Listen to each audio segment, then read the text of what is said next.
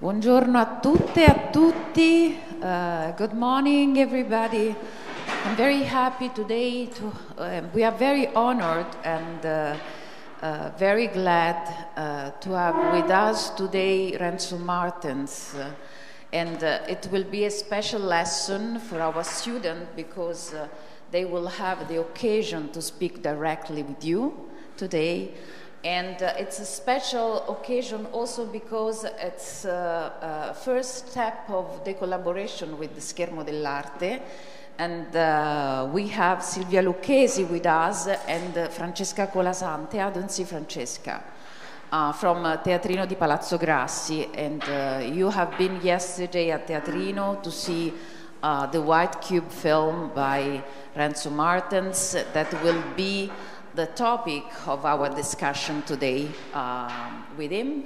But before starting, I would like to ask Silvia, uh, first of all, to thank um, Silvia for uh, the possibility to create this connection uh, between uh, Teatrino di Palazzo Grassi e Schermo dell'Arte. Ah. Ecco. So I, I, can, I can't uh, restart, but is it, is it open? No, no, no, it's, it's over there. It's over there. So um, I will leave the floor to Silvia Lucchesi uh, to tell us uh, something about Schermo dell'Arte. We spoke with the student yesterday about this important uh, uh project that, is, that was born in 2008 in Florence, but it's traveling around, and that's why we are here in uh, Venice too. Thank you so much, uh, Piersandra. Thank you again, Renzo, for being here. Thank you to Palazzo Grassi and especially Francesca Colasante for, for this meeting today here at the uh, university. And we are very happy because it, it's not so frequent for us to get out the cinema theater and go in another place like uh, a university and meet directly our public because we we love to have contacts with students and the, the young generation. This is, this is very important for us too, so thank you again. And Lo Schermo dell'Arte, as Piersandra just said, it's a project that was born in Florence in 2008. And now this year we, we will uh, uh, have our 15th edition. And it's a festival on uh, cinema and contemporary art. Uh, we screen films mm, uh, real, uh, realized by artists, but also documentaries on contemporary art during the festival that takes, in, takes place in November, uh, every November in, in, Florence. But also we have other projects dedicated to the young generation of artists working with moving images. And uh, the, these are residency um, projects, training projects, um, so we have organized uh, uh, exhibitions showing uh, young generation production with, with moving, moving, images, and we have also contributed to the production of their works. I want, because of the terrible times we are living now, I want to mention that last year, for example, we, in the exhibition we exhibited a, um, a video by a couple of Ukrainian artists really very good work.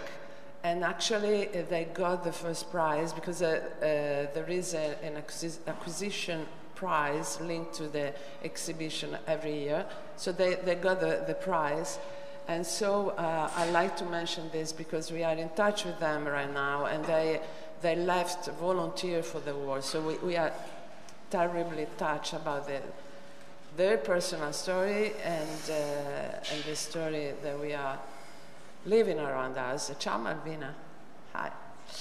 Uh, so, uh, more information about Lo Schermo dell'Arte uh, you can see on our website. Uh, we, we have also um, a special offer for participating for uh, students to our screenings online because the festival since 2020 has a double format on, in presence and online. So we present film, films on, on a platform, screening platform. So the, there is an, um, promotion for, for seeing the films dedicated to the students. So if you, um, if you follow us uh, through our website, you will be uh, informed by the next uh, uh, festival, next programs, and next uh, projects we are, we are trying to do with the students. So I thank you so much, and I leave you to the, I, I, I guess, a very interesting talk uh, between uh, Renzo and Piersandra. Thank, Thank, you. you, Silvia. Thank you very much. Um, ciao, Renzo. Ciao, ciao. I'm very happy to have the chance to talk with you, and we are very glad. Uh, our student went, uh, have been yesterday at the Teatrino, so they saw the, the, the film, and I would like to remember that today at six o'clock there is uh, uh, the previous film, uh, Enjoy Poverty. Um, that was realized, uh, presented in 2010, and I will um, um, ask you to, to, to see the second film, but it, I think it will be interesting to say something started from Enjoy Poverty. But, but before doing this, um, uh, I would like um, Renzo um, going back to the episode one. Um, you realized, uh, uh, I don't remember exactly when, in, two, in 2000. It was filmed in 2000, Yes, and the film was ready because I'm slow in 2003. Yeah, cool. Yeah. And uh, I think it's it could be a good starting point today, related to what we are experiencing uh, uh, these days, because the project was uh, strictly re- related to the, the war, Yes. representation of the war, the war. As always in your uh, work, that is, we might say, quite controversial. Um, it's always uh, uh, it deals always with uh, uh, critic criticism representation presentation and uh, uh, the possibility to see uh, the world from another point of view that can be uh, an occasion to reverse the gaze. And so I, I would like to have to, to ask you to tell about this project so episode one that is the first um, the first moment in which you conceived uh, probably um, this possibility to work inside the, the art world with uh, uh, this, uh, let's say, controversial, contradictional, and uh, paradoxical gaze. Yeah. Well, thank you, first of all, for having me, uh, uh, all the people that work together to invite me and my wife, uh, Lisa. Uh, so thank you, Silvia, for uh, it's the second time you show work, or the third time really. Enjoy Poverty was shown, in now White Cube. And thank you for having me at the university, and thank you, Palazzo Grassi. Um, I'm also happy to be here, um, and thank you for having come, at least some of you, yesterday to the screening. So indeed, it, it's kind of um, uh, a long time ago. It's 22 years ago that I made uh, the, the recordings for what then later became the film Episode One, and it was filmed in Chechnya.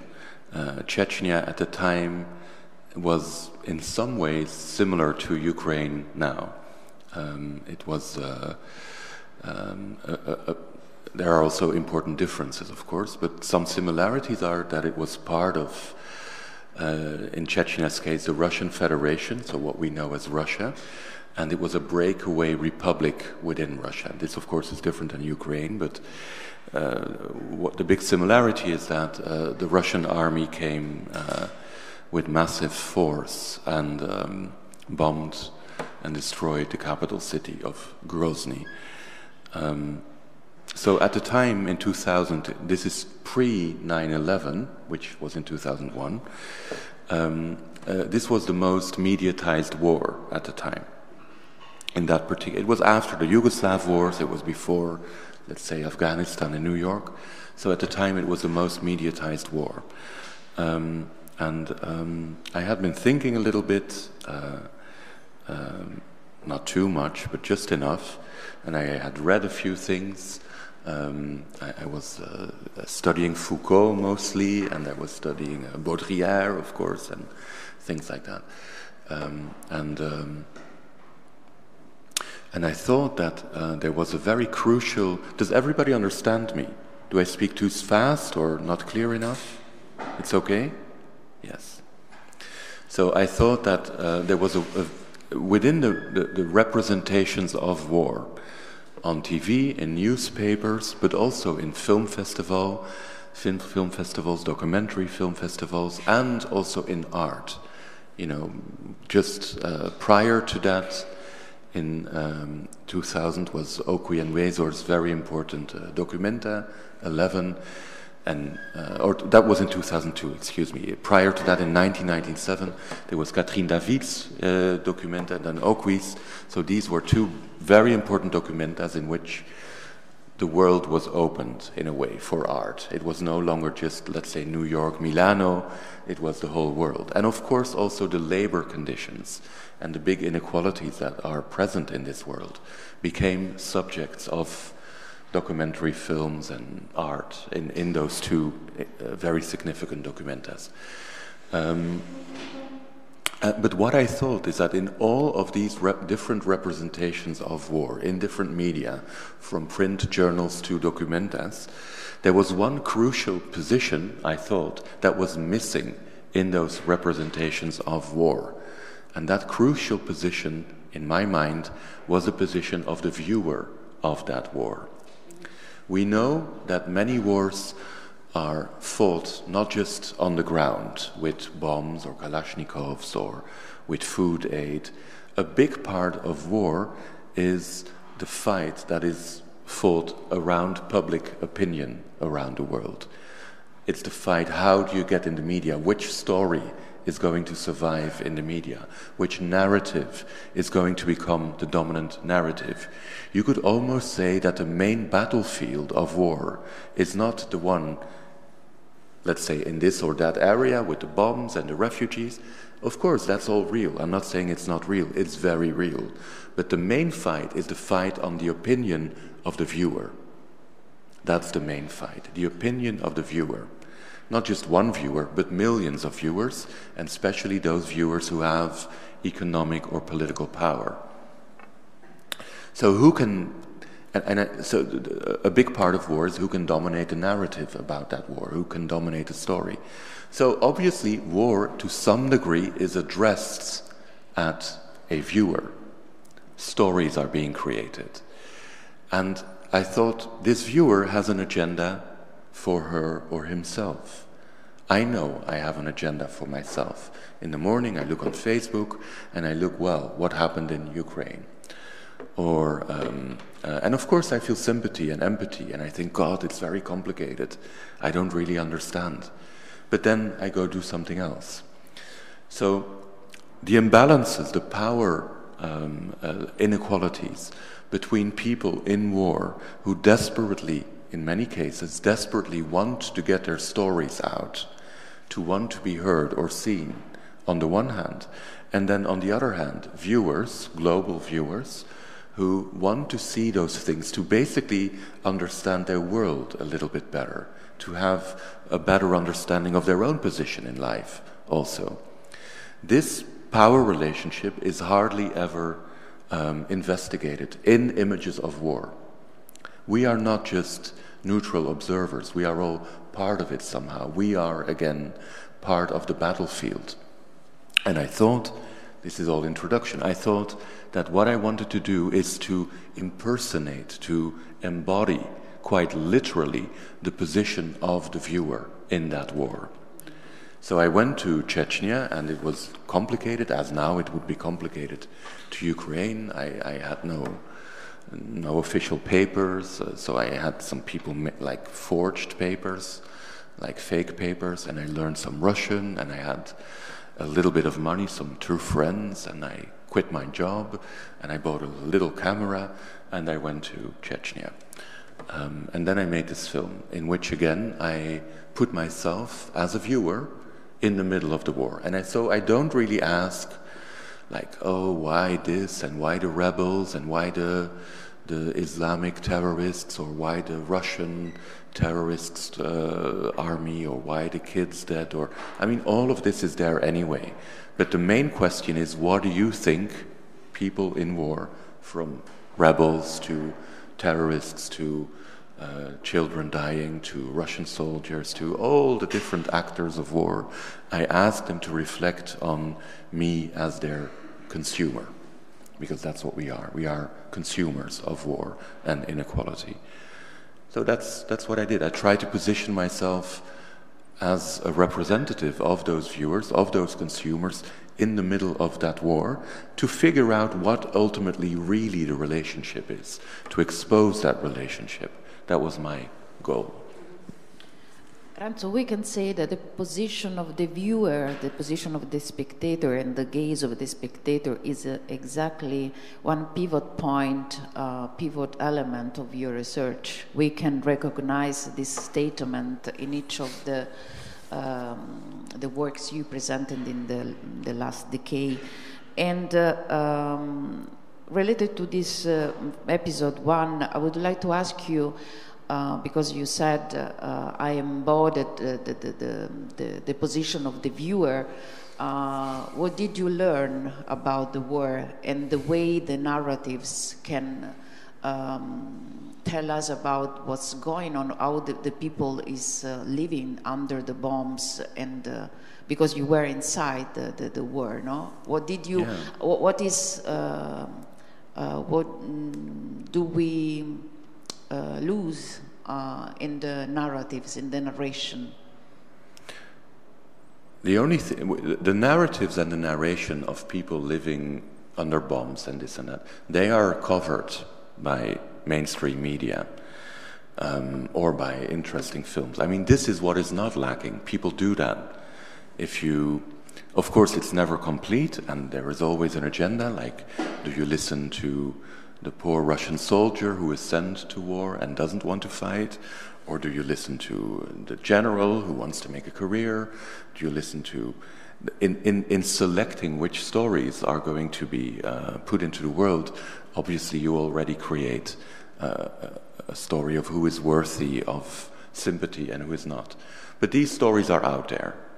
The, the only thing, again, that I wanted to investigate was the position of the viewer. So I'm not an expert at all on what people in wars think about war.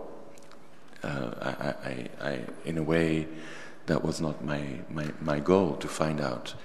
I wanted to find out how people feel about their viewers. Yeah. And, um, and I wanted to analyze in a way how I feel about being a viewer. Um, and, and, and that is, um, yeah, it, it's an analytical exercise to a large degree. Yeah. It's, uh, it's interesting the connection you, uh, you made between the position of the viewer, that is a general position, but at the same time you um, recall the idea of embodiment Yes. And so I would like to ask you how you, mm, do you uh, um, combine these two things? Because uh, if I think about, about enjoy poverty, and I ask you if, if you can uh, tell um, us about this project a bit, and uh, because we are going to see it today, I saw it already, but I would like to ask you to tell about yes. this a bit. But um, of course, your position in that case, uh, also in the case of White Cube, is not neutral. I mean, it, it uh, uh, embodies a specific point of view.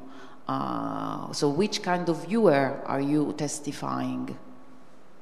I'm, I'm, a, I'm exactly the type of viewer that I am, which is a, a white, male, heterosexual, middle class, Northwestern European man. That's what I am, and that's what I embody, which up to recently was seen as neutral, which of course is not neutral. But um, it, it, was, it, it's the viewer for whom those stories are being created. They're, they're, they were the dominant uh, power in creating stories. So I'm, I'm that viewer. And I think you are completely right. It is not neutral, but I do try to embody it as good as I can. So um, so I, I think it, it somehow, especially enjoy poverty, but also episode one, um, they, yeah, they spill the beans. They, they, they reveal the secret of, I think anyway, of, of how the privileges of some people on this planet are part of the destitution of other people on this planet, and how the inequality between the two is not just because of economic production chains, that is for sure. I mean, I mentioned yesterday that my clothes, I wear different clothes, but the story is the same.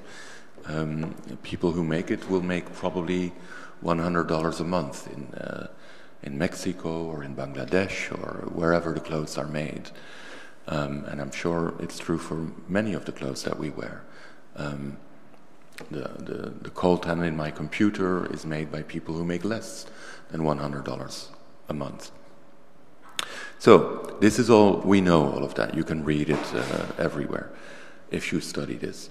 Um, but the, the point in, in the work that I try to make is to exhibit that even the people who, or the industries that are trying to create awareness of these inequalities, or even more so, try to um, try to uh, level these inequalities, make it less equal, that these industries, by and large, there are many exceptions, but in general, if we talk about the rule and not about the exception, that in general, these other industries to create awareness, so NGOs and media and art, are functioning and reproducing the very same inequalities. That's not just something I do, I do it too but the industry at large also does it. There have been countless exhibitions in the Venice Biennial about labor conditions in impoverished places. Uh, there are fantastic works of art have been made about that. In the end, they were then shown in Giardini or in some other place in Venice. And capital, intellectual capital, emotional capital, Uh, of course, financial capital accumulates where? around the Giardini or around the collectors or around the parties or around the universities. Little capital, if any, accumulates around the places where the content, like say the circumstances around which you could make a film in sweatshops in Bangladesh or in mines in Congo or in etc. Very little capital will accumulate in those places. So these inequalities are not simply about coltan or uh, labor or uh, cocoa or coffee or palm oil or rubber or um, gold or etc. etc. They are also about critical reflections about these inequalities. In the critical reflection, there's the same system in which, in one place, value is extracted or raw commodities is extracted, could be an image of poor people working in a factory, and in another part of the globe, capital is accumulated around that image. So whether it's an image of poor people, or whether it's a whether sorry, I'll retake that. Whether it's an image of poor people producing cocoa here and eating chocolate here, or if it's just the industry of producing cocoa here and eating chocolate here, the same equalities exist in those two different value chains. So I try to exhibit that. That's all I try to do in Enjoy Poverty. I try to exhibit this. Um, because Enjoy Poverty, I mean, in the, in the film, you, you state uh, that poverty in Africa mm. as best expert image to the world from which Western society benefits. Yes. So you use, you invite them to use their poverty as a, uh, and uh, a tool that can use uh, to make money. Yes.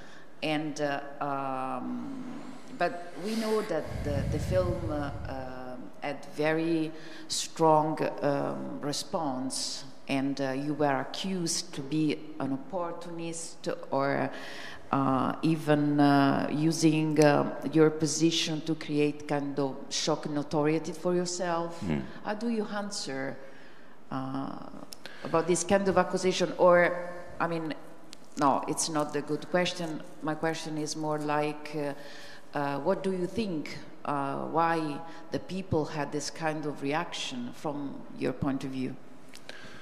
Well, I'm not responsible for other people's reactions. Everybody can but react. You, I mean, they sure. use a judgment, so it's. Yeah. Um, again, I'm not responsible for other people's reaction, and everybody's entitled to her or his reaction. You know, um, it's not for me to judge other people's reactions. Everybody can think whatever they like. Um, I think it's a very good film. I think, um, yeah, I'm, I'm serious. Um, um, I think it's a very good film because, not because of the cinematography or the this or the that. I think it's good because it really exhibits, again, how um, exactly what I what I try to do in a way. It exhibits how um, how systems of extraction operate, and we. I, I want to read a quote by um, Susan Sontag. Uh, you must know of Susan Sontag. She's a. Of course, it's a it's a quote from this book. I will read it. I'll read it twice. It's a long, complicated quote. It's about sympathy. It's at the very end of the book one of the last chapters, or maybe the last chapters. So here is Susan Sontag. So far as we feel sympathy, we feel we are not accomplices to what caused the suffering. Our sympathy proclaims our innocence as well as our impotence. To that extent, it can be, for all our good intentions, an impertinent, if not an inappropriate response. To set aside the sympathy we extend to others, beset by war and murderous politics, for a reflection on how our privileges are located on the same map as their suffering and may, in ways we might prefer not to imagine, be linked to their suffering, as the wealth as the wealth of some may imply the destitutions of others is a task for which the painful, stirring images supply only an initial spark. It's a very long, complicated sentence, so I'll pick out just a few sentences or fragments that I think it's good, that I think are really uh, important. She, she says, We can feel sympathy if we see, see the suffering of, of others in war or in. Of course, you feel for people who are suffering, who are dying, maybe, who are in war or in cocoa plantations, for example. But there is a real risk in just feeling sympathy. The risk is that you will not see how your privileges as a person who um, sees those images, how your privileges to just look at those images is located on the same map, is connected to the position of the people whom you look at. And maybe if you just feel sympathy, oh, there's a poor child, I feel sympathy, good. It proclaims your innocence, it's not my fault, and your impotence. I can't really help. It's just on the picture. So she says this is not good enough. These feelings of sympathy is maybe only the first, the very first step before we take next steps. And what should be the next step? The next step should be in, to imagine or to study how your position, your privileges is the word she uses. Your privileges as somebody who can not just drink a cup of coffee, but then also feel sympathy if you see a kid, a poor kid in Africa whose parents work on a cocoa plantation or on a coffee plantation and the kid has nothing to eat. You can feel sympathy. So you have the coffee and you have the image. You have the good taste and you have the sympathy. She says that's not enough because your privilege to look at the image and the suffering of the child from whom the picture has been taken is on the same map. They are not on a different world, they're in the same world. So she says just feeling sympathy in a way can be a smokescreen to not really understand how those two worlds are connected. So this was published in 2004. Um, it was, I was at that time starting to film Enjoy Poverty. I had already made episode one in Chechnya, but I think it kind of, I mean, I never spoke with her, she died soon after. But um, it, it, it feels very close to what I try to do to locate my position as a coffee drinker, I drink coffee every day, and my position as a media consumer of war and inequality. I see it on pictures, on TV. Um, uh, and, uh, uh, and my position as an artist who wants to make art about how this all works. So I try to put all of that on the same map, and I try to do it in a brutally honest way. So if somebody asks me, like, oh, will we see the film here? A guy in a refugee camp in Congo, he knows I'm there with a the camera, the neon sign, Enjoy Poverty is up. I tell him, no, you will not see the film.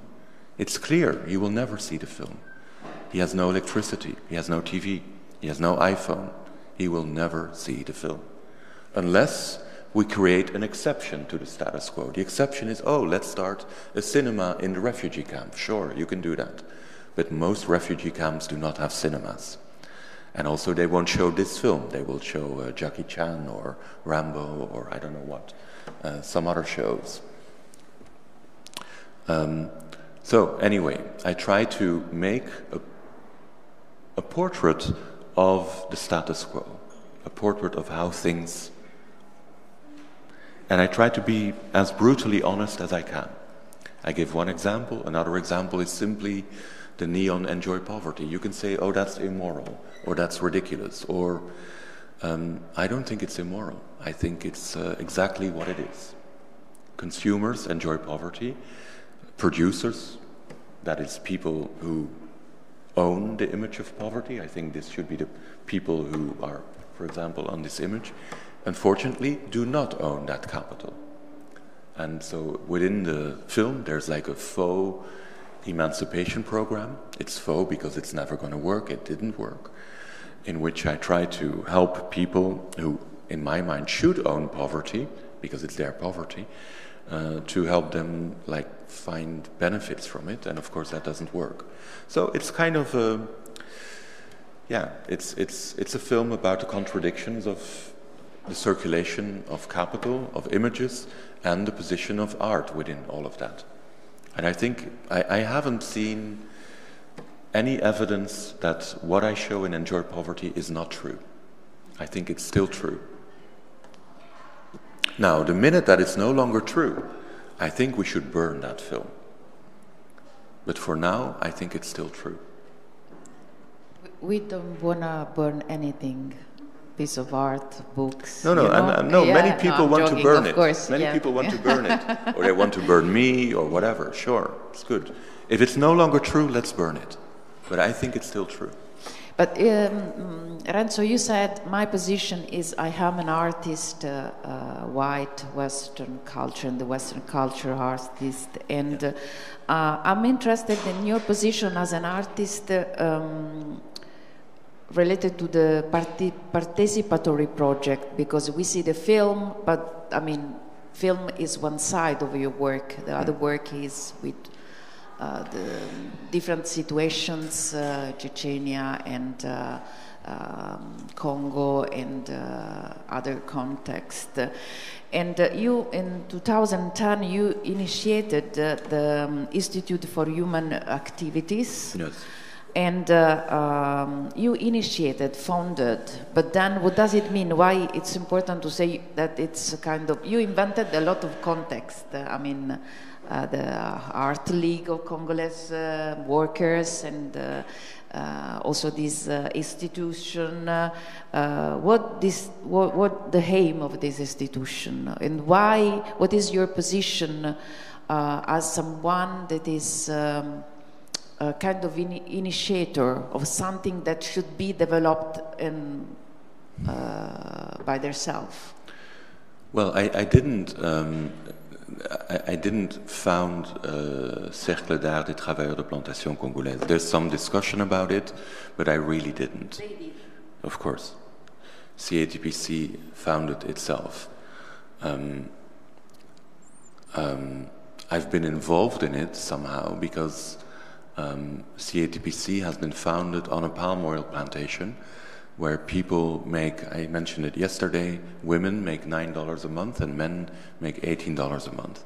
So you don't have a lot of time to like sit here at a table and discuss art. You're going to be worried about your kids surviving um, and, and trying to make some money left or right so you can buy medicine if the kid has malaria. Uh, so yes, I was part of it in the way that I'm because I'm Dutch, white, Western, etc. I can get money from the Dutch Art Council, and I say it's a Renzo Martens project. Then they give me fifty thousand euros. I give it to, to CATPC, and they can find found CATPC.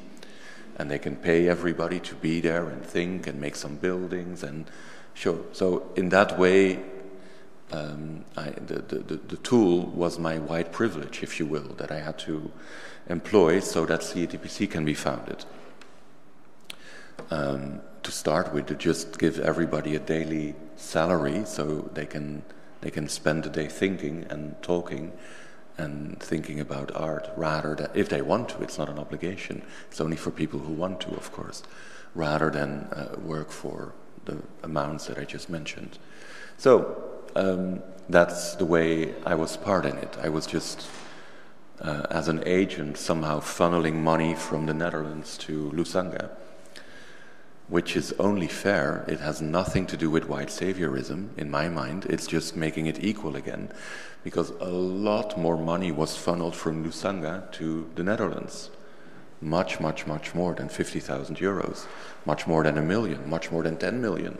Hundreds of millions have been taken from Lusanga and have gone to the Netherlands and to the UK, um, if not billions, actually. So, what I bring back is peanuts, nothing, actually.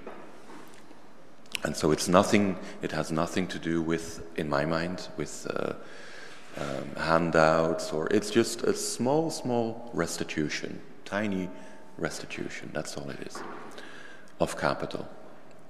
Um, so, why all these contexts? Well, after Enjoy Poverty, um, because that was your question, uh, after Enjoy Poverty, um, yeah, it was, of course, uh, um, people saw it as a scandalous piece. Um, I don't think it's a scandalous piece. Again, I think it's a very proper, almost objective representation of power systems that are ongoing power systems between impoverished workers in Congo and the art world, how those two relate. Workers, refugees, uh, minings, journalists, how, how this value chain operates. That's what I try to do, and I think it's still valid. I mentioned that. Um, it's scandalous, maybe, because it's so, what I like to think anyway, that it's brutally honest. I, I don't I don't hold back. I don't hold back in exhibiting how, excuse my French, how fucked up it is. How deeply, deeply, deeply fucked up it is. And it's, again, it's ongoing. I, I'm very angry about it. And I'm very sad about it too. I'm very angry about it. Yeah. Uh, and then I needed to found institutions because making one film is obviously not enough. Then you have a film. Where will the film be shown? Not on the plantations. Uh, it, will be it was shown in Kinshasa, sure. Where in Kinshasa? In places like this, where you know middle class or wealthy people come together to discuss art, um, which is good. You know, I'm part of that. I love that, but uh, it's definitely um, not going to change labor conditions on plantations. Uh, for that, you need more. You need institutions. You need funding. You need intelligence. You need um, you need a lot more, and it can't be done by one person. Many people need to do it together. Um, so that's why first uh, the Institute for Human Activities. We kind of made it shorter now. It's just called Human Activities. And later, CATPC was founded in 2010 and 2014. And when I kind of invented the reverse gentrification program, which started in 2012, this is all what you saw in uh, White Cube yesterday. Um, yeah, it's not enough to just make critical art and then show it in wealthy places. That's the dominant model. You make critical art about how bad things are and you show it in wealthy places. It was also exactly what happened in Enjoy Poverty and what I already proclaim within Enjoy Poverty. Are we going to see it here? No. It's going to be in galleries and museums and maybe on TV in Europe. That's the way it is. You know, that's the way it is. I'm trying to be very honest about it. And now, of course, in the last 10 years, some things have changed a little bit. So now you can also see critical art, things like that, in uh, some global cities, in Kinshasa, in Lubumbashi, in Dakar, in Cape Town, in Sharjah, of course. Many things are changing a little bit, but I think on a structural level, it's, it hasn't changed that much.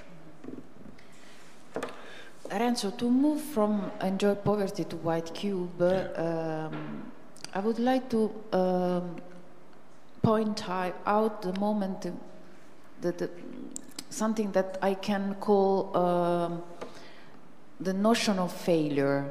We see you crying, Yeah. and that it's quite uh, important scene.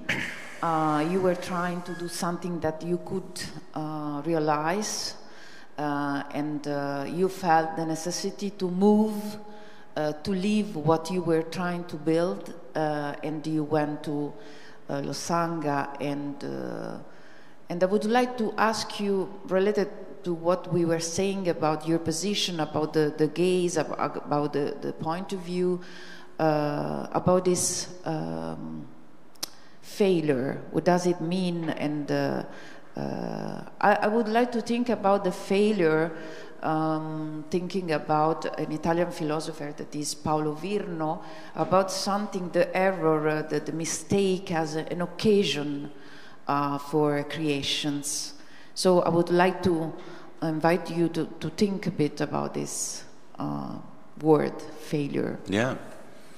Well, I think it's central, not just in that scene where I cry, but Enjoy Poverty is a portrait of the status quo, but also how art fails to do anything about it, how all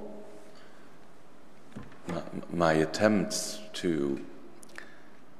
It, it, it's a portrait, if you will, if you want to put it from that perspective, it is a portrait of a failure, of course. It's Enjoy Poverty already is, and, and episode is also their attempts to exhibit how, again, uh, how unequal, how fucked up it is, and how all the attempts to do something about this fucked upness are also failures. They are failures because they're not meant to succeed often. NGOs are not really meant to um, make a more equal world. That's not their mandate. Businesses, of course, will always say that they're about uh, creating more jobs and lifting people out of poverty, but that's not really their mandate. Their mandate is to make profits.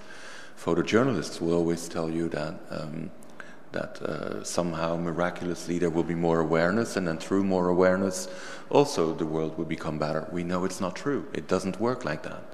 Um, uh, and then artists, of course, ultimately will always say that yes, they also have to make interesting pieces around it to critique the world and create alternatives for it. And we know that most cases that's not really true. It's not really what happens. So I exhibit all of that in the film Enjoy Poverty. Now, in White Cube, I try to take it a little bit more seriously, and also I think I try to make an exception. I, I, I try to see, okay, we know that um, you can have interesting discussions, for example, here and now. Could the benefits of art, the benefits of critical engagement, the benefits, etc., etc., could they also take place not just in Tate Modern, funded by Unilever? Could it also be in a Unilever plantation from where the capital is extracted to fund Tate Modern? Let's see if it works there as well, possibly. Surely people are uh, equally smart, equally interested, and have probably a lot more urgency to do something and change things. So you see quite quickly in the film that it fails, and it fails for many reasons. You know, a big, a big reason why it fails is because I have, like, kind of ridiculous ideas, and it doesn't work, and uh, and I'm blinded in a way, and uh, and I invite Richard Florida, and uh, yeah, uh, it, it, it, it could not work, and and the powers are much too powerful. Uh, luckily, later on, it, it, yeah, then I think it, it works a lot better. Um, and we are then able to create an exception to the rule. That's all it is, huh? it's a tiny exception to the rule. There's like 300 people, I guess, in and around Lusanga who, in one way or the other, live of this project and who are planting all these trees. And it's really, I mean, I'm in love with the project, and many people are in love with the project. But if you go 10 kilometers further or to the next former Unilever plantation, it's still $9 a month for women and 18 for men. So it's just, uh, it's still a failure. Even the fact that you can make an exception, and we talk about the exception, we shouldn't really talk about the exception. We should talk about the rule. The rule is nine dollars a month. So that's why I keep repeating it. And uh, um, I was quite quite impressed by the the moment in which you started to be in touch with the, the people, the workers. Um, and uh, there is this, uh, I mean, Lusanga, and uh, there, uh, there were uh, these uh, psychotherapists, uh, the other white people, having this relationship that seems based on kind of um, pedagogy. So I'm wondering why, why uh, for you was important to have a psychotherapist uh, uh, addressing uh, uh, the, the, the, the people uh, using the art as a, you know uh, as a, a therapy and uh, I mean that was a point that for me was a bit tricky. Yes. Uh, why they, they could invent something by themselves using color or you know it happened later when you invite them to create this sculp- sculpture but the first moment in which you um, enter in contact with them it's like uh, um, something that is yeah. there is a kind of hierarchy Yeah. that I could recognize that point No, I agree, and it's um, it's it's one of the reasons why it, it, it, it failed. Of course, I agree. It's one of the reasons why it failed. All of that, my presence, Richard Florida, those uh, psychotherapists. Um, yeah, I was delusional. I think it was not good. Luckily, um, it was not good also because people um, in in Boteka. uh, I mean, surely they were interested in art a little bit, or but they are. What really is at stake, as I understand, is that people want their land back. So, you know, if and, and art and land somehow are, of course, uh, interconnected. Also, you know, Congo was stolen. It was military. There was a military occupation by the Belgians, but of course, mostly by the companies that were given political cover by the Belgians, like Unilever, and they just stole the land, and then they stole all the art, and uh, it was like. Um, and, and this is ongoing. The, the, the results are still there. Um, it is a colonial system still obviously with now um, um, uh, Congolese people who are the president, but they, in, in an economic sense, um, not so much has changed, I'm afraid. And in the case of these plantations, they are directly uh, run from London. The guy that gave the phone call, like they need to get out, he's a guy in London. He's not somebody in Congo. Um, so people want their land back, and um, and it was only when that kind of emerged that you see that all my ideas with uh, you know about creativity and trauma, this is all ridiculous somehow. There, there's something much bigger at stake than my silly project. So that's the failure, It- and um, in a way, I should be really happy that it failed because that was uh, a bad trajectory, and it feels very outdated. Also, it was filmed in 2013, I believe, um, and already then it was outdated. I thought it was, I thought, I knew this guy. He said, "I'll come." I I do like tsunamis and earthquakes, and I can help. And I said, "Well, sure, come." Um, but I would not do that again. No.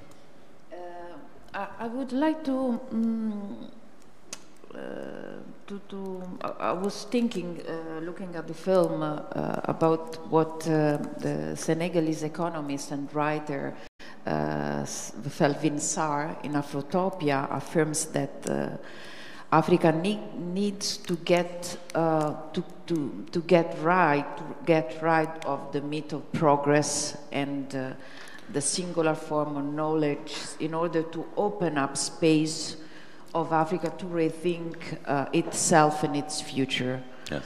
Um, and this is for Felwine Sarr, it has to do with the economy, the idea that Africa has this informal economy that is versus uh, the formal economy that is the, the Western economy. Uh, so I would like to, to, to um, ask you um, to say something about this relationship between formal and informal economy and uh, to go deeper in this idea of creating uh, a context in which the people can live uh, with the, the artwork and so the creation of the white cube. Yeah, I think it's um, there are uh, several types of economy at play. I think um, it's maybe important to state, first of all, that we're not in some random part of Africa. I'm not, I didn't go to some random village and say, hey guys, do you want to make art? Um, it's, um, there are several factors that, um, that make it specific. One of them that it's Lusanga and also Boteka when we start where we started have been part of the art world for at least a century simply because they are Unilever plantations and Unilever is a big sponsor of art. Um, Tate Modern, the Lady Lever Gallery, the Leverhulme Foundation. If you are a brilliant academic in the UK in the humanities, in art history, you teach at Oxford, you will get a grant from Leverhulme and so it comes from plantations in Congo. So it's not some random place, some random village. It's people who have been uh, involved in this formal art economy in a way that has been denied, of course. You can't go to the Le Foundation. They won't say this program is sponsored by plantation workers in Congo. They don't say that, but still, that's the truth of it. So um, so that's one important issue. Another important issue is that um, many of the people who work on the plantations uh, have been um, conscripted, they have been forced to work there. Um, they, they, they didn't come voluntarily, they were forced to work there um, through violence, through oppression, through rape. Entire communities were forced to work on these plantations. So you can't formally call it slavery, but it's it's not very far from it. Now, some of the people, some of the peoples that were forced to, you know, work on the plantations, uh, have enormous, um, have left enormous heritages of art that you can find in uh, Western collections, mostly in Kinshasa also, but the, the, the, like the most uh, prestigious pieces are in New York, they're in Brussels, they're in Berlin, they're in um, they're in Frankfurt, they're in Paris, they're in Washington, D.C. That's where their art is. So it's not like people weren't making art. People were making art. Maybe they didn't call it that, but things that now would be classified as art.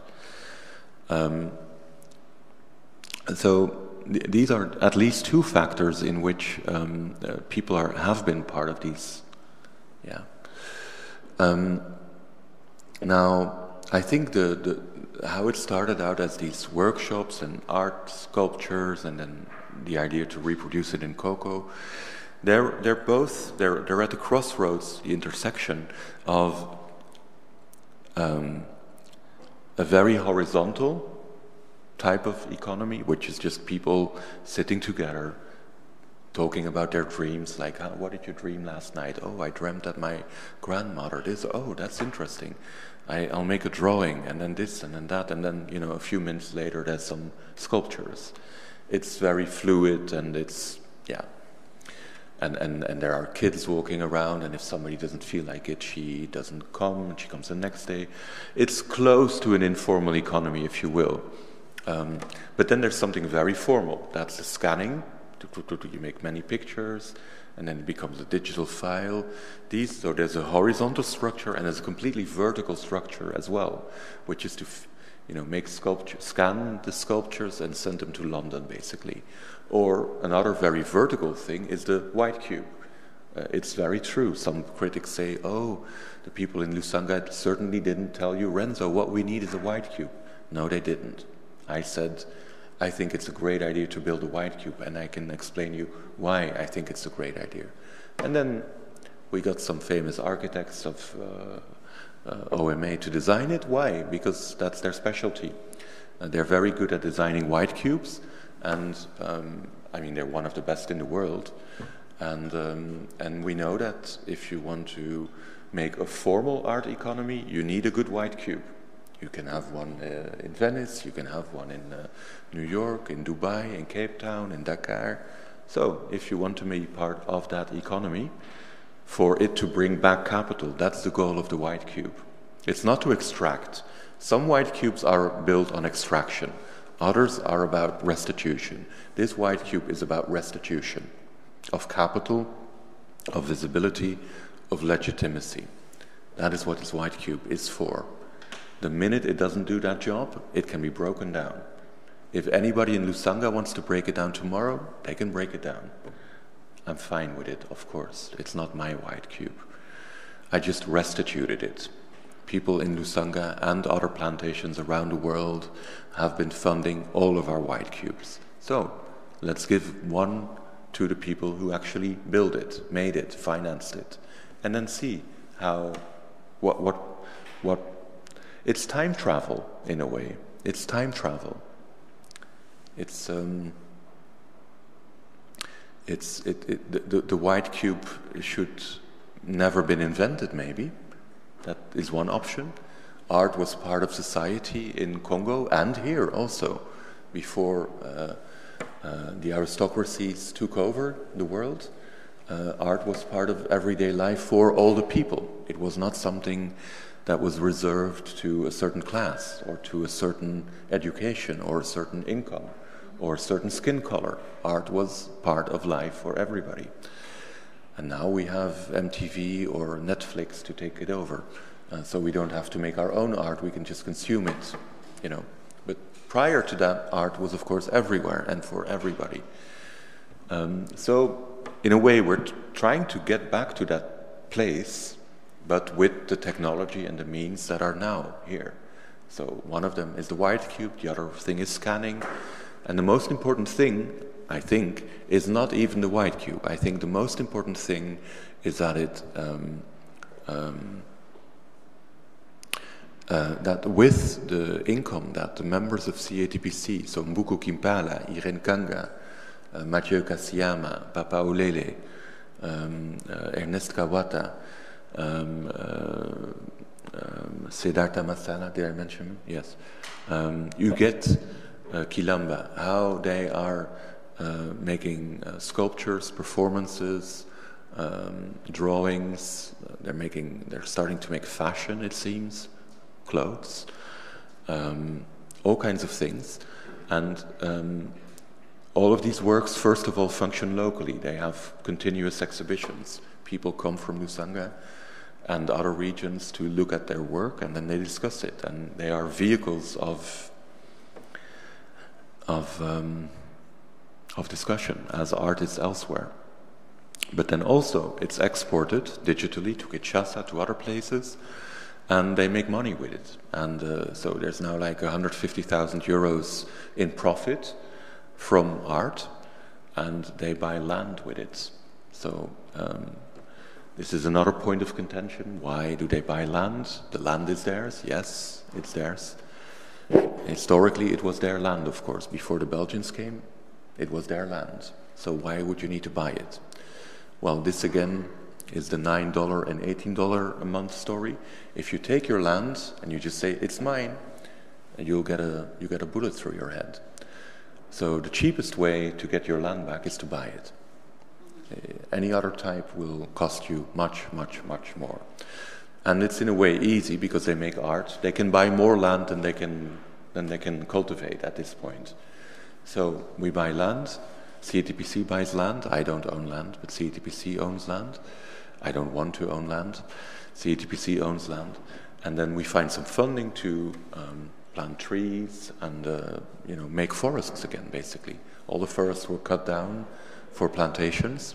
For the so th- that's the most important thing. That something we like to, to call the post-plantation. Something beyond the plantation, which is basically just an egalitarian, um, an inclusive, and ecological new uh, society with art at its center, which is exactly what it was prior to colonialism, and which is exactly the way all of our economies were prior to um, um, big powers taking over. So uh, I would like to open up the, the floor to the questions that you have, that probably you have collected during this time. Um, yeah, uh, Giorgio. Uh, no, it's better to use the microphone because the people are following.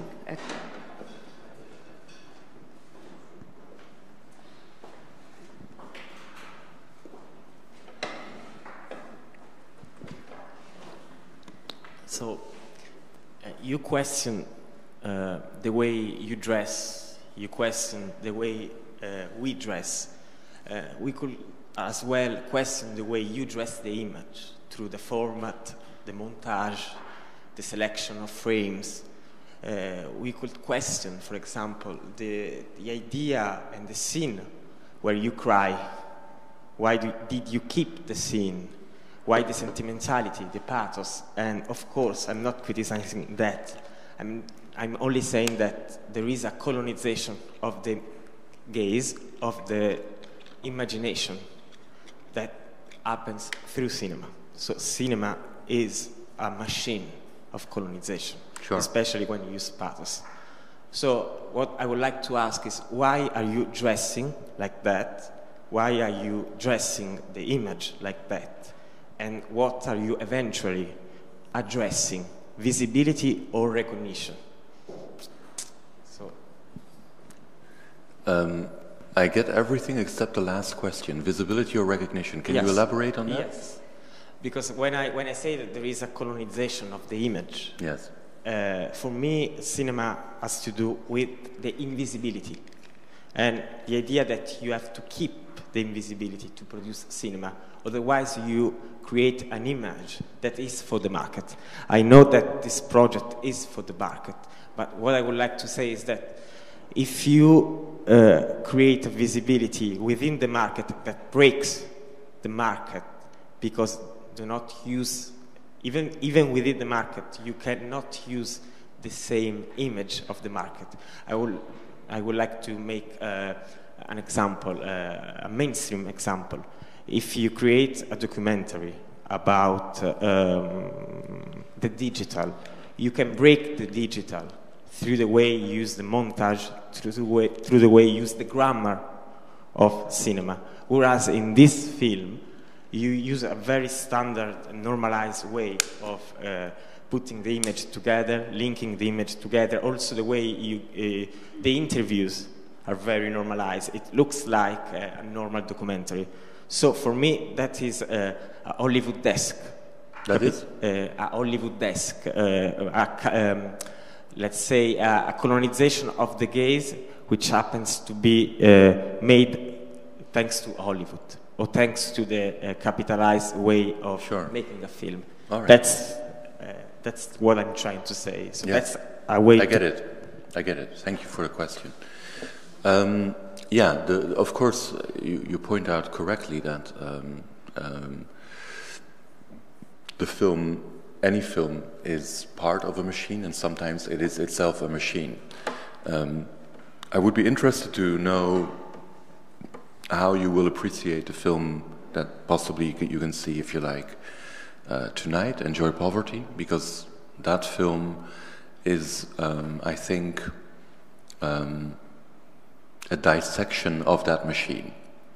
It, it exhibits how a film made by a white man about very impoverished plantation workers in Congo, how that film is a machine and what goals that machine serves and what goals it does not serve.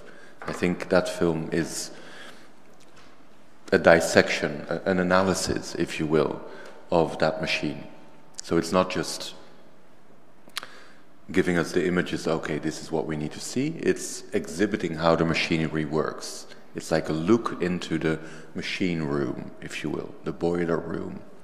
So I would be interested how you see that. Um, the film White Cube is much more conventional. Uh, indeed, it uses the language uh, to some large degree of um, Netflix documentary, with people looking back, looking in the camera, uh, you know, talking about their emotions.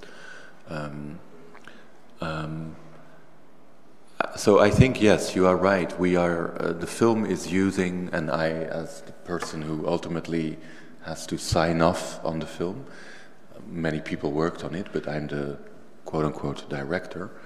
Um, um, we, we employ the tools of um, capitalized film, if you will.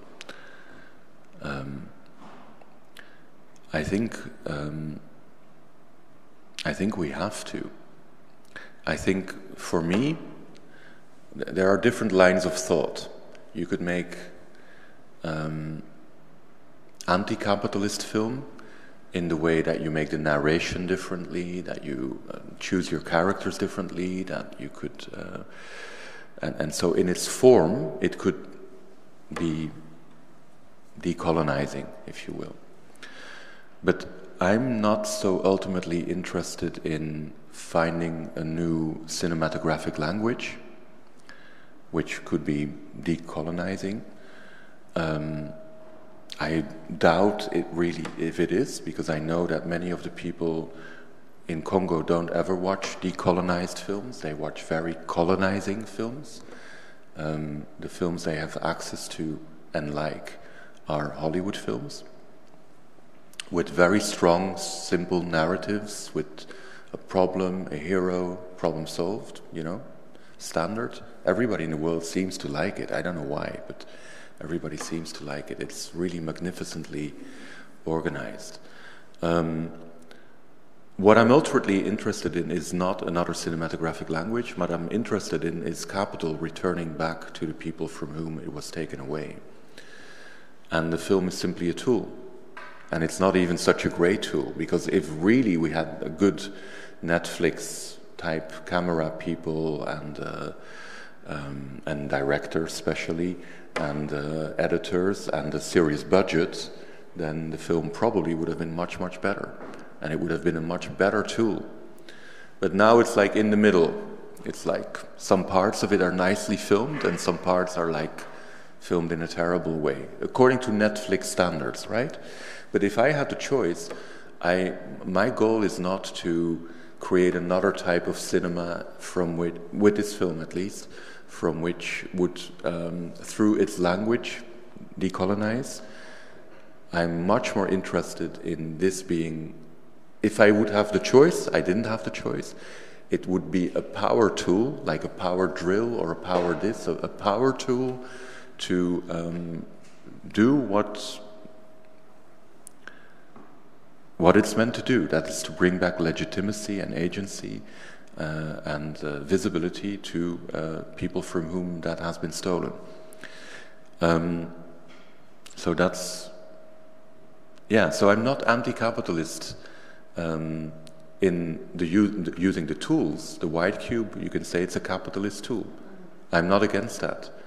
But the end goal is that the means of production go back to the people, of course the end goal, and we're kind of on the way for it, is that CATPC owns its land, um, owns a white cube, um, uh, is starting to make films now that I'm not involved in, only for funding reasons I'm involved, um, and is planting forests again. That's the end goal. And if for that we use capitalist tools to go beyond capitalism and do something that is communally owned, uh, I'm completely in favor of that.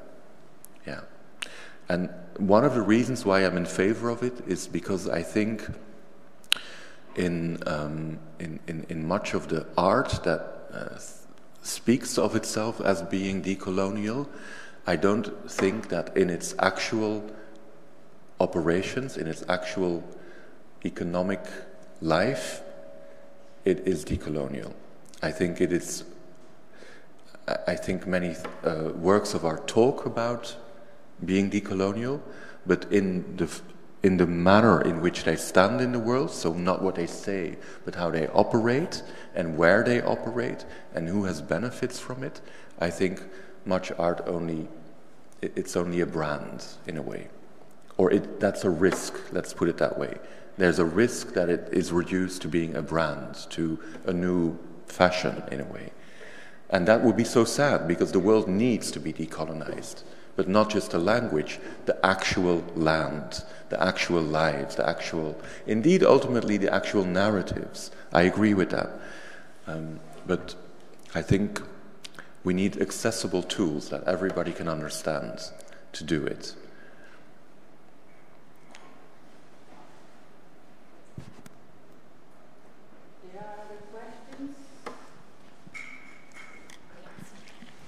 Hello. Hi. Good morning. Um, so I don't want this to sound like uh, like strong accusation, but in what you are saying, like I get the idea that you maybe don't really want to decolonize, but rather like uh, reinvent colonialism in a way that it helps the people that are colonized. So mm. it's not actually like decolonizing, but like finding a new type of colonialism that also helps the people, like, and just because, like, yeah, as you said, the white cube, you're not against it, you just want to use it, like, in a better way, but maybe wouldn't it be, have been better to, like, actually create a new, like, uh, image or type. Like as you said, to you the white cube is like a symbol, a portal to like for the people in the like in Congo to the Western civilization and. No, I didn't say that. No, like you said, it's a portal to the our like art uh, um, economy and uh, yeah, uh, but it, isn't that like just a new way of imposing um, Western? Um, I understand the question. Yeah, thank, thank you. you. No, and you voiced it so well. Um, your question or your critique. I disagree with it, but um, you voiced it really well. Is it, are you not, uh, if I may sum up what you said, and it's it's a smart way of putting it.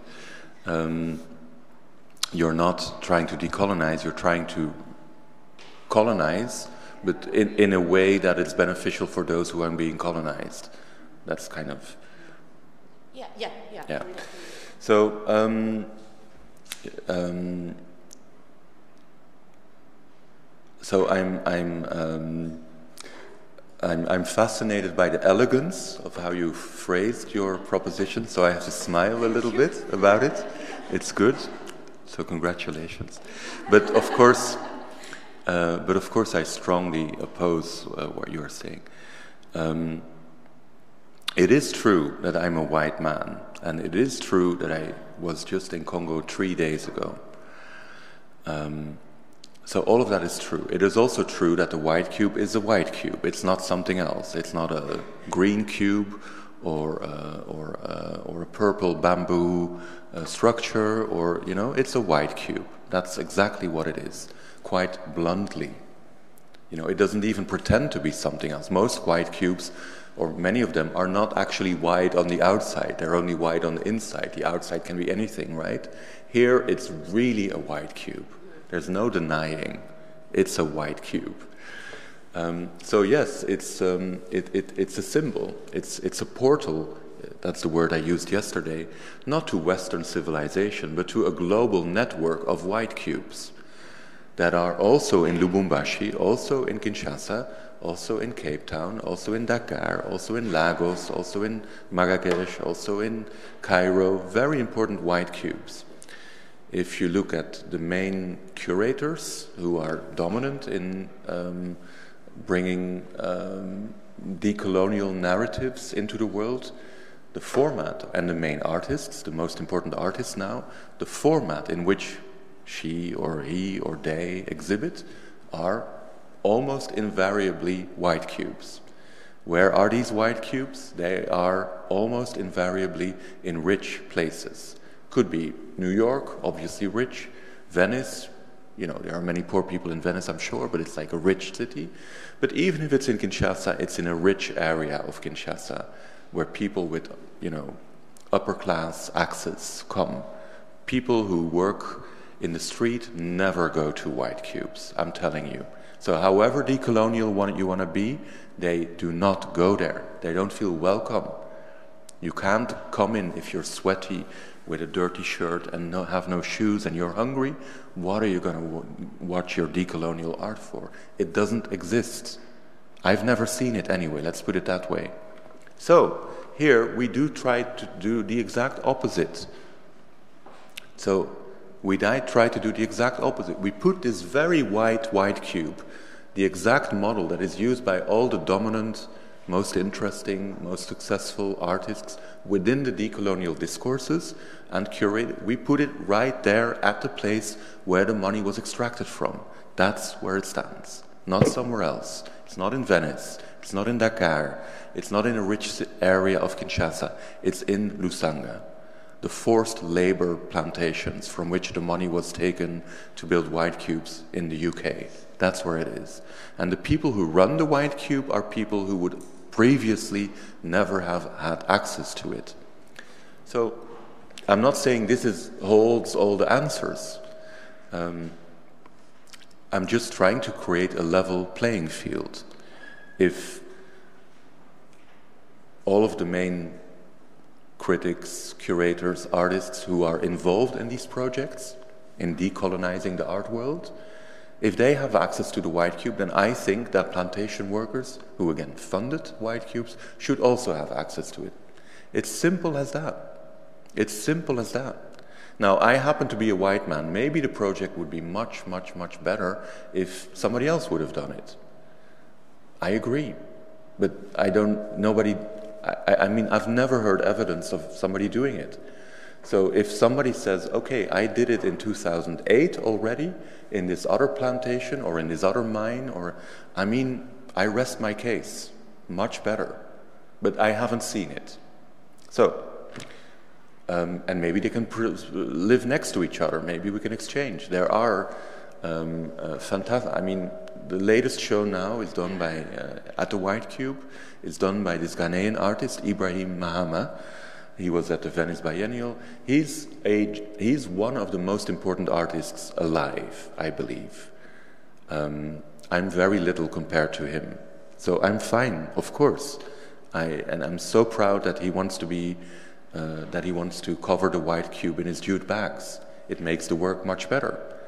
It's now a white cube covered in cocoa bags from Ghana. I mean, it can't get better than that, I believe. So, my job is just almost like an agent to create a level playing field, and that's also what it is. Now, one aspect of colonization is that you colonize people, you occupy them, and you take away resources.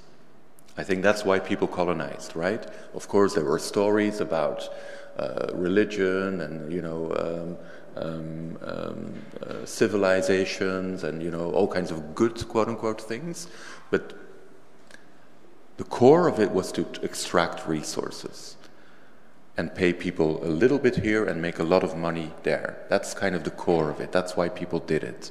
To grab the land and the resources and make profits, not there, but elsewhere. Now, I think the opposite is happening here. Um, if we use quote unquote colonial tools like colonial filmmaking with Netflix type of images, or if we use colonial type um, uh, tools, which is, could, be a white cube that is very white, white, white cube, sure. But what it produces is something opposite to that. What it produces is land being back in the hands of the community. What it produces is sculptures by CATPC, of which they take 100%, of course, of the benefits, and it goes to them. Uh, what it produces that people who would previously not be invited in Zoom calls with uh, people in New York or, uh, or, or, or, Lubumbashi or being in those Zoom calls. What, what happens is that uh, agency and visibility can get into the hands. And I think, again, that I'm a tool for that.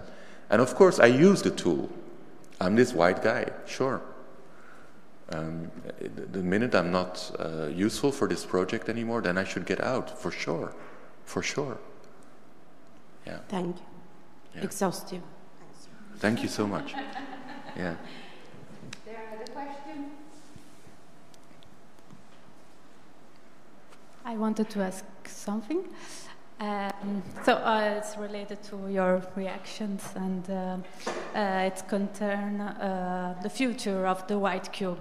So what if the white cube will become um, will become um, will, will um, become um, a place in the network of the art system and art world?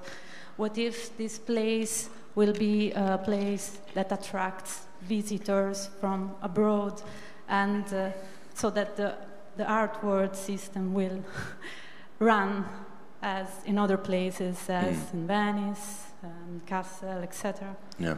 What if what what is the aim of the white cube in the end? Yeah, I don't think the aim is to attract a lot of tourists. It's, it's really far from Kinshasa. It's 540 kilometers. The road is not so great. Um, I, came back two days ago from, drove from Lusanga to Kinshasa.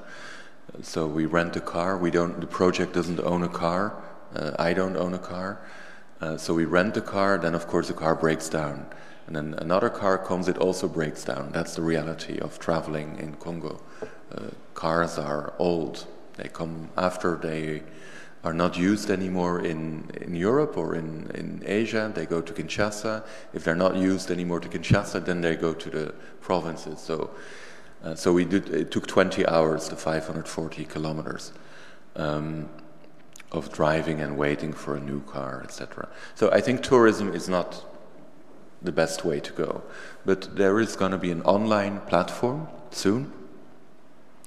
Uh, it's going to be called White Cube Online. Um, and, there's already now the website Human Activities because I founded that in 2010, but soon there will be another website, White Cube Online. Um, and yeah, the White Cube is there to just do what White Cubes do. Uh, they um, they perform all the functions of art. It performs all the functions of a museum. Um, so it's about beauty. It's about discussions. It's about um, opening new lines of thought, thinking about the past, the future, etc., etc. Uh, it's also about capital and visibility and about legitimization. That's what Richard Florida would say, and what every investor, uh, like uh, every investor, like Palazzo Grassi, sure. Why is it? Of course, uh, the people that own it and run it love art for sure. But I'm sure that people also know that it's about capital and visibility and legitimization. We, I mean, that's simply a fact. And so that's the same for this white cube as well. But again, uh, it's it's the end goal for the white cube is that it uh, legitimizes the position of the community who owns it. Yeah. And I don't think it's going to be a big center like Kassel or Venice, um, simply because but it's there too. is a risk. There is a risk. No, it it, become. it, it uh, it's too inaccessible. Like um, before uh, we built this uh, white cube, I had never, like zero times in my life, heard of any curator coming to this zone. Even if I didn't create a history, right? The history is there. Everybody can read the history of the Unilever plantation and how they funded art and this and that. It's a huge surprise to me that then nobody who got a Leverhulme grant or nobody of the artists that exhibited in the Unilever series in Tate Modern, Tino Sehgal and Bruce Nauman and Ai Weiwei and etc. Uh, etc. Et I'm so surprised that none of them went to have a look to the place where the capital came from. These are very brilliant artists. Like, there's nothing wrong with their intelligence and their intuitions. And still, nobody, as far as I know, ever did that. So now there's a white cube, and now sometimes a curator comes, and that's great. So she or he can learn about the circumstances through which the Unilever series was funded. So if that's all it does, it's already good, but it will never be millions of people. And also, it will never become that successful because it's too complicated. It's too complicated. The fact that I'm a white person really puts people off at this point, right? It, it, because it's, it can be interpreted as neocolonialism or as white privilege or as this and that. And I understand all of these lectures. I'm not trying to defend myself. It, I understand it. It's fine. If people want to see it that way, that is, they are, of course, entitled to do that. I see it differently. Um, I think there's a global value chain from people extracted, labor extracted from plantations and mines, etc., etc. And then uh, there's uh, um, uh, products made like uh, Ferrero Rocher uh, cookies or whatever. Uh, profits are made. Um, um, and then uh, part of the profits is, are reinvested in museums. And in museums, then interesting critical artists can make pictures, paintings, drawings, films around the world. And around these museums, new economies emer- emerge. This is what happens in Venice also. So that's the value chain. And we are simply trying to con- reconnect the value chain from the plantations to the economies around the museums. And obviously, you need people from all the different positions in the value chain to work together. So you need people who are uh, working on plantations, and you need like hipsters. So I, oh, and you need artists, and you need real estate people, and you need people who have money because of the. And so anyway, if they all somehow bring together, then you can close the value chain, and the benefits of art can also accrue on the plantation, and not only in, again, places like Venice. So it's so simple in a way, but it's complicated because people don't like to look at the apparatus, at the machinery. People just like to look at the decolonial artwork that is doing the narration different and uses different words, and then it's good. But the machinery is the thing that counts, I believe. And we are talking about the machinery, and we are trying to close the gap that the machinery the dominant machinery from plantations to, in the end, economies around museums in rich cities, we're trying to close that gap. So we're talking about a machinery and not about quote unquote pretty art that, you know, signifies our impotence and our innocence, as uh, Susan Sontag just said. But it's also why it will never become so popular. It's always going to be a little bit, ooh, ooh, you know? Oh, oh, it's complicated. Oh, yeah. Sure. So our time is over. Oh, really? But we will. I have a last question for you. Sure. Uh, because the Congolese Plantation Workers Art League uh, are working with you uh, on the digital restitution of a work Yes. a lot. So uh, I would like to know a bit about this and also about this uh, non-fungible token that I have to say, have to admit, I, I don't understand how Yeah. does it function and uh, I will I will invite uh, all the students and the people to, to go to the Renzo Martens uh, website to go to uh, Balot. Humanactivities.org. Uh, oh, sorry, human um, human activities, and then uh, dot org. dot, dot org, and then uh, to go to Balot, and then uh, see uh, the the sixth uh, video. We don't have time to do this now, but I ask you to watch this uh, video, and then we will have occasion to discuss uh, more in the next lesson we will have next All the videos are really good. All the videos. So Yeah, let's. Six videos, yeah. This is. Uh, Because everything I say, I learn it from other people. I mean, I just connect dots, but all the knowledge comes from other people.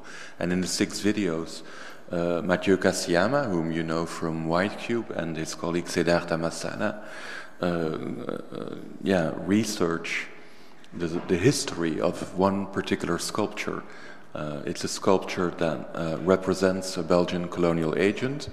Uh, his name was Balot, and um, Mathieu uh, and um, Ced'art are interested in this sculpture because um, um, um, it- it's a sculpture that was meant to um, to resist forced labor on the Unilever plantations in Lusanga.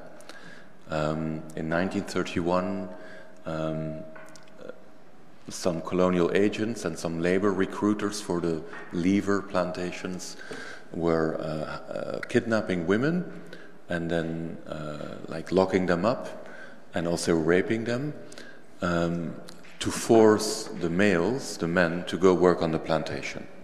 If they go work, then the women are liberated. If they don't go work, then they are then the women are kept hostage. And in the meantime, they are also being raped. So at some point, Kafuchi, who was the wife um, of the, the, the chief uh, uh, Akelenge, uh, was raped, and um, yeah, this was like that. That was that. That was, of course, unacceptable, but unacceptable to such a degree that the community uh, killed this guy Balot, this guy. And then they made a sculpture of him to contain his spirit. Again, this is not my knowledge. This is what I am just reproducing from other people who I have heard speaking about it. Uh, in this case, uh, uh, Professor Sikitele, who uh, came to do a lecture in Lusanga.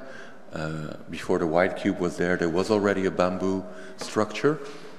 I gave a big lecture on the revolt of the Pende, so on these events in 1971, uh, sorry, 31. Um, and so the sculpture was made to contain the spirit of this Balot guy, um, so that he could no longer rape and steal and kill. Even his spirit could no longer rape and steal and kill. And the sculpture um, didn't really succeed because, of course, the plantation regime continued up to today, as I pointed out.